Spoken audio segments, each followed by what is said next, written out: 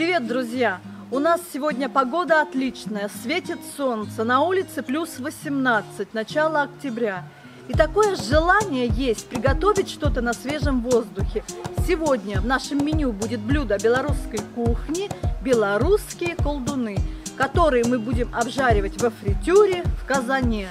Ну что, начинаем? Нам потребуется картофель, лук, растительное масло, фарш свинина-говядина, зелень, соль, перец и два яйца. Картофель в сторонку. Первым делом будем заниматься фаршем. Из зелени я взяла петрушку. Вы можете сюда еще добавить укроп. Фарш. Добавляем много зелени. Большую луковицу по на терке. Можете лук нарезать мелким кубиком, но мне кажется, на терке, на крупный, не хуже будет.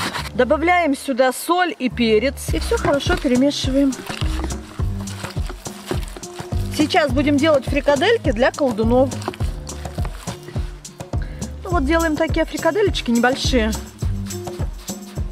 Вот где-то вот такие, с перепелиное яйцо.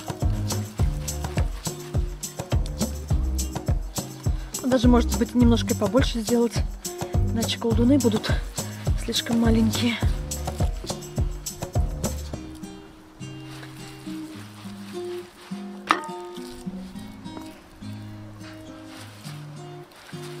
Фарш берите любой. Можно взять и свинину, можно взять просто говядину, можно курицу взять. Любой фарш. Ну, самое главное, чтобы он, конечно, был такой не сухой, а жирный.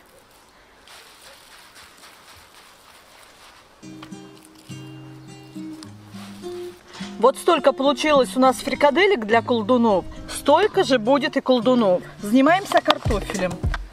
Натираем картофель. Вы можете использовать мелкую терку. Я буду вот такую использовать. Она не крупная, но и не мелкая, средняя.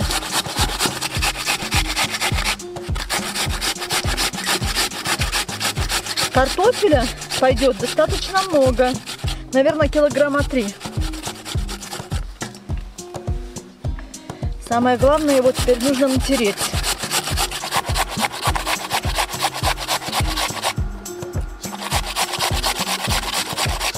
Картофель посолили. Хорошо перемешиваем. Вот уже начинает краснеть. Много крахмала. Картофель начинаем понемножку отжимать.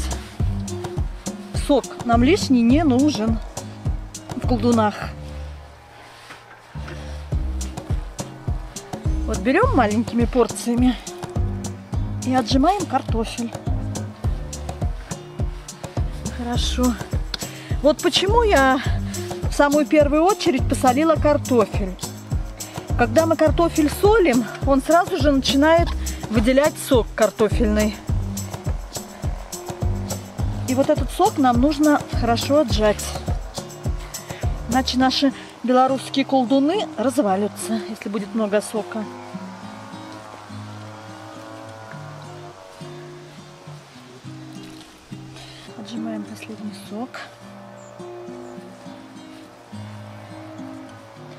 Вы посмотрите, друзья, сколько много сока. Вот посмотрите, выделил картофель. Перекладываем в большую миску. картофель натираем лук. Две больших головки.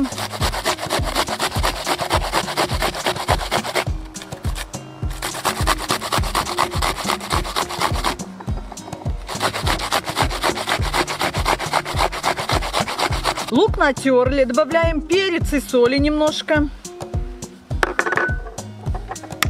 Вбиваем два яйца.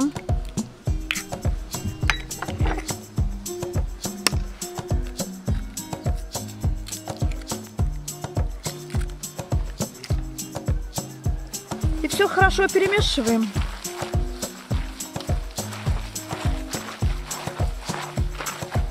Целая большая миска картофеля.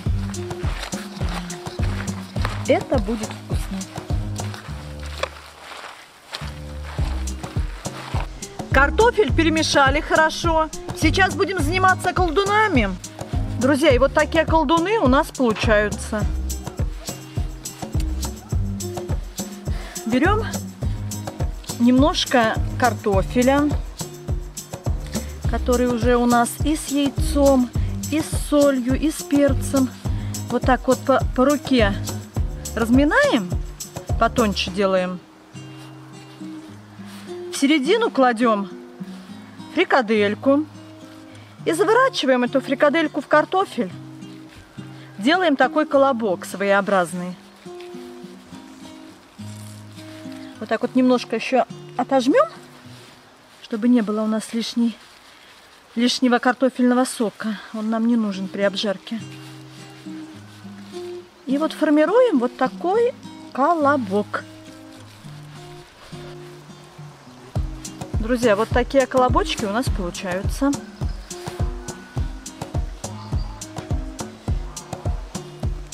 Немного картофеля. Вот так вот его еще раз отожмем хорошо.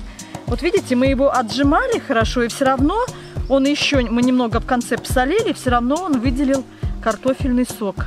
Вот так вот по руке разминаем картофель. Центр кладем фрикадельку мясную и заворачиваем. Вот сюда можно еще немножко добавить картофеля.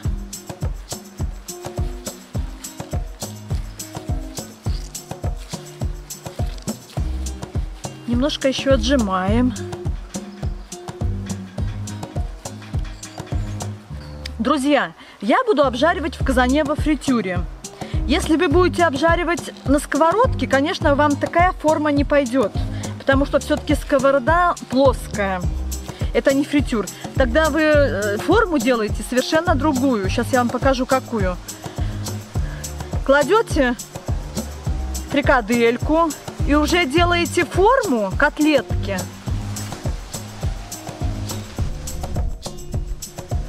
Вот смотрите, какую форму вы можете сделать колдуна. Вот видите? Форма, чтобы было котлетки. И вот такие котлетки под крышкой на сковородке вы можете обжаривать. Я буду обжаривать в казане, поэтому я делаю колдунов форму круглую, шариков таких. Потому что у меня будет фритюр и масла будет много. Вот столько колдунов у нас получилось, но еще несколько фрикаделек осталось. Мы их будем обжаривать в казане так. Все, у нас все готово. Идем к казану. В казан наливаем масло растительное. Много. Наверное, целую бутылку буду использовать. колдуны обжарились хорошо у нас. Огонь нам сильный не нужен. Огонь нам нужен средний. Колдуны обжариваются. Обратите внимание, кипение маленькое-маленькое. Вот такая красота у нас получается. Но пусть еще жарится, чтобы они хорошо прожарились внутри.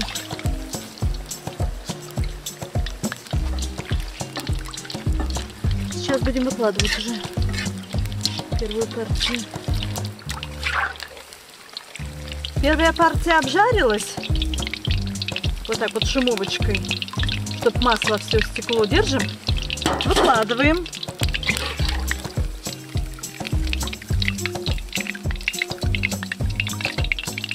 Вот такие они у нас красивые получаются. И закладываем вторую партию.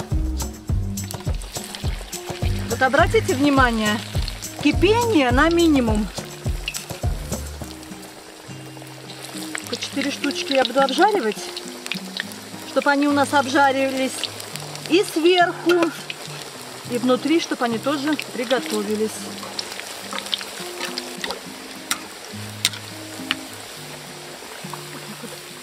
Распределяем.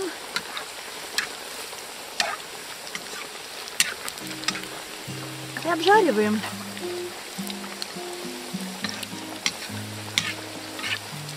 Вот обратите внимание, никакого кипения нет. Маленькое-маленькое побулькивание. Переворачиваем еще раз. И так несколько раз будем переворачивать, чтобы они обжаривались и с той стороны, и с этой.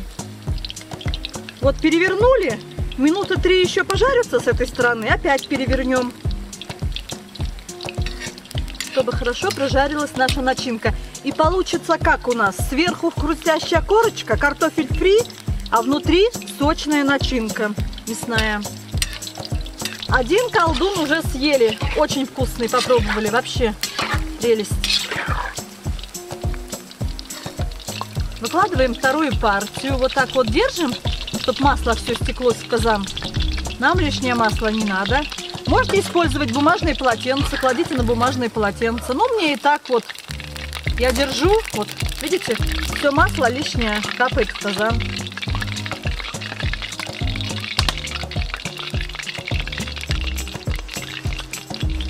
Вот этот картофель лишний мы убираем. Он нам не нужен. Закидываем третью партию. Маслицем сверху поливаем шумовочкой.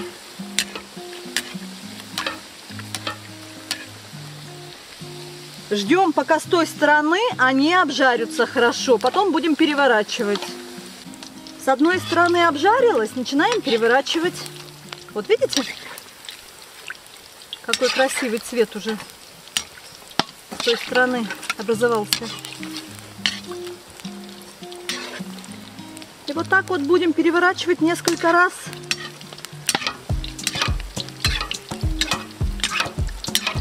Перевернули и маслицем вот так вот с этой стороны поливаем.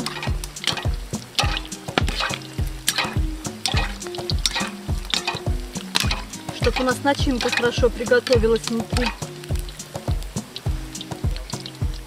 Кипение маленькое, вы сами видите. Переворачиваем еще раз.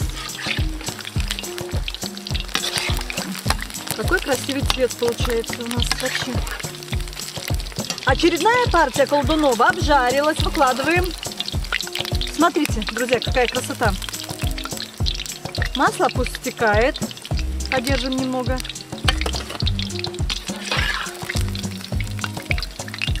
Такие красивые колобочки у нас получаются.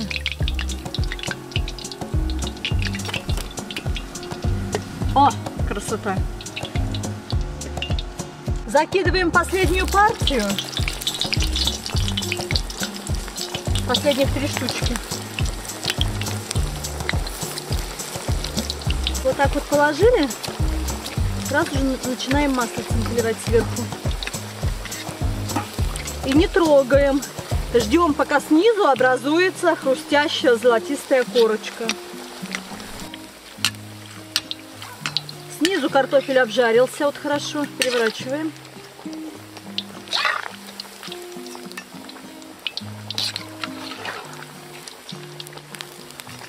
И обжариваем с этой стороны. И переворачиваем несколько раз, чтобы равномерно обжарился картофель.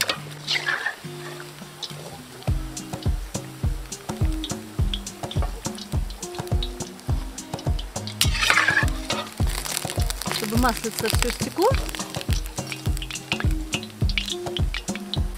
Друзья, вот столько получилось у нас колдунов. Сейчас будем обжаривать фрикадельки, которые остались.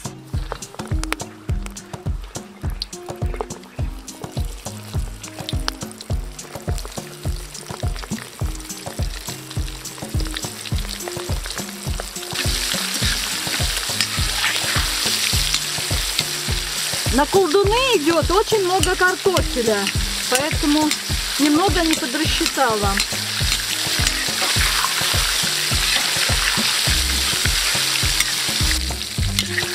Фрикаделечки обжарились.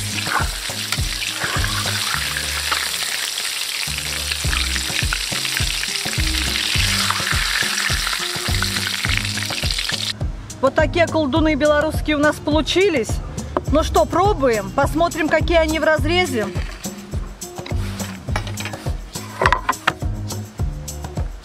Разрежем.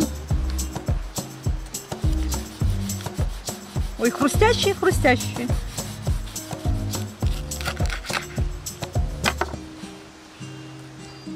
Посмотрите, друзья, какая красота. Вообще. Пробуем. С первого раза не поняла. Пробуем еще. Сейчас еще одну разрежем.